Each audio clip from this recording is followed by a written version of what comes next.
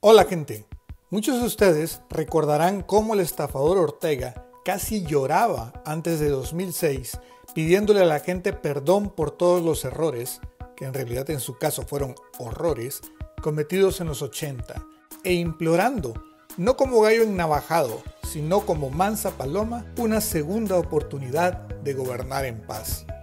A mí no me engañó, y estoy seguro que a muchos de ustedes tampoco, pero el caso es que a mucha gente que le faltaba edad, conocimiento o educación, sí se los llevó en el saco. Pues ahora que todo ha sido dicho, que todos los velos han caído y las farsas han quedado expuestas, queda claro que ni Ortega, ni Murillo, ni el resto de sus secuaces querían gobernar en paz. Querían censurar, secuestrar, matar, torturar y robar en paz. O en lo que ellos llaman paz, cuando en verdad se refieren a impunidad. Esta semana terminaron de ejecutar el robo a las instalaciones de la prensa inaugurando otra de esas instancias fachada que no tienen otra función que tratar de maquillar el hecho de que el sitio que ilegalmente ocupan es robado. Todo esto a pesar de que el artículo 44 de nuestra Constitución dice, se garantiza el derecho de la propiedad privada, de los bienes muebles e inmuebles y de los instrumentos y medios de producción. Así empieza el artículo, reconociendo el derecho a esa misma propiedad privada que ha sido burdamente violado por el aparato mafioso de Ortega y Murillo. No solo en el caso de la prensa, sino también en el caso de Confidencial, 100% Noticias y muchos otros medios, ONGs y demás propiedades privadas asaltadas por la dictadura. Luego sigue el artículo diciendo que las expropiaciones solo pueden darse cuando existe una indemnización de por medio lo que por supuesto tampoco ha pasado en los casos antes mencionados. Y, para el final, mi parte favorita del artículo, que con todas sus letras reza así. Se prohíbe la confiscación de bienes. Los funcionarios que imprinjan esta disposición responderán con sus bienes en todo tiempo por los daños impedidos.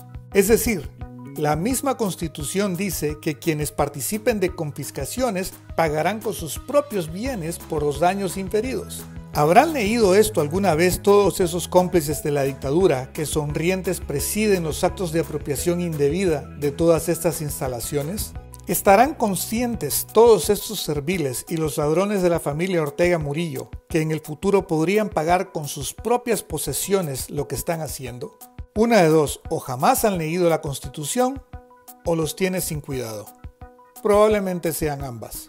Pero en todos reside la responsabilidad de recordárselos, ahora y en el futuro, para garantizar que cuando se tengan que resarcir todos estos daños, la plata salga de los bolsillos de los que tiene que salir, los bolsillos profundos y rebosantes de plata mala vida de la dictadura y sus secuaces.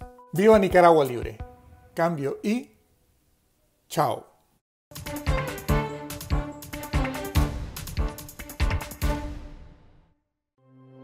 Confidencial, 25 años investigando y contando la verdad, la política, la economía y la sociedad. La aspiración de un país con democracia, prosperidad y justicia. La corrupción, la pobreza y la violencia.